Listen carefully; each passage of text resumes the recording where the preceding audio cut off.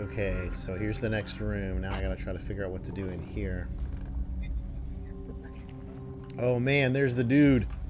God, he looks creepy. Look at him, his long arms. I better not let him see me. Oh man, he's putting the different kids up there. He's putting him on hooks? Oh man, this dude is nasty. What is he doing? Are those real children or what? You know what's sad? He's not even. I feel like I could just walk behind him and he wouldn't even see me. Uh, Uh oh, he smells me. He smells me.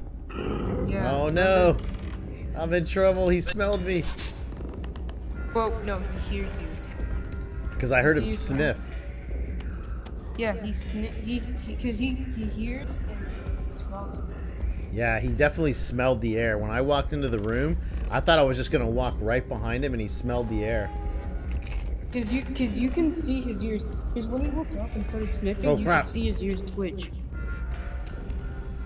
Yeah, his ears twitch. Oh Man. jeez. I can't get out of here. Every time every time I move from this spot, he comes out. You think I could sprint past him? Man, it's gonna be a run for my life.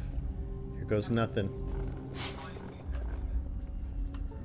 Yeah, so you're gonna have to run. Straight booking it.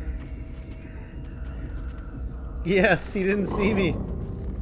He didn't see me. I got past him. I hid behind that pole. Go, go, go. Oh crap, run, crap, run, crap, crap. Running. No, running, I was so close.